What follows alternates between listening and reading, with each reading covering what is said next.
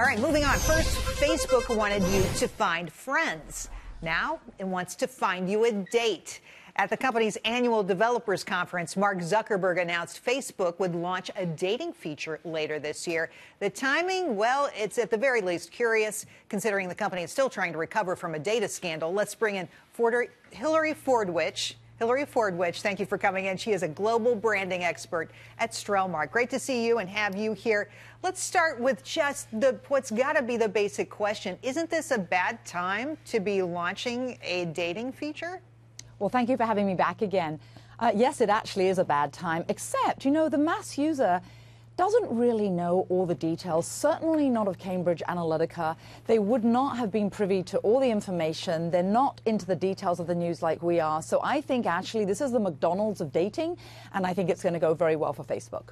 Wow. So you think they can just move beyond this? Uh, one of the things they're doing to move beyond Cambridge Analytica is they're going to give users uh, details on what apps are tracking them across the web. They're supposed to make that information public even now. Is this enough? Will this do it? You say people may not be following the story, but it seems to me when I look at my Facebook feed and the people who want to delete Facebook, there is interest in this story. Will this convince consumers that Facebook is on their side?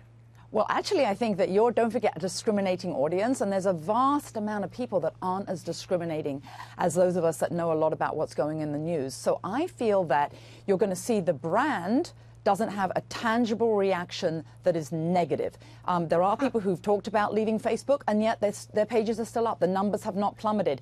Uh, whereas the stock, of course, plummeted for Match.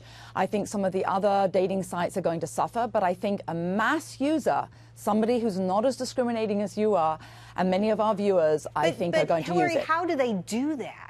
Because so many companies, when they have some kind of issue, some kind of problem in the news, their stock tanks like a stone. So, yeah. what is Zuckerberg doing right here that people don't even focus on that?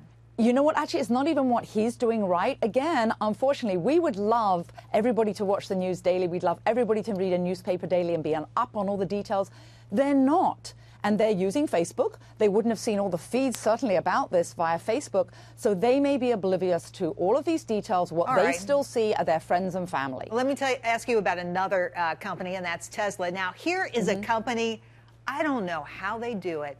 They are so popular. They, they have yes. a $51 billion mar- market cap. They can't get a product off the production line. They have all kinds of execution issues. And yet, I, the, the CEO of this company is hailed as a visionary. What are they doing right? What they're doing right is they have something that people want. Everything comes down to a difference between need and want. You need to go from point A to point B, but a lot of people want to have a vehicle that they can tout as environmentally friendly, that they can tout as something that is obviously extremely high end, and they can feel like they have the, the blue chip, top notch brand. Mm-hmm. And that's what it is about the branding. Oh, that's interesting. I can see that. That makes a lot of sense to me. Uh, Hilary Fordwich, thanks for coming on today. Great to talk to you.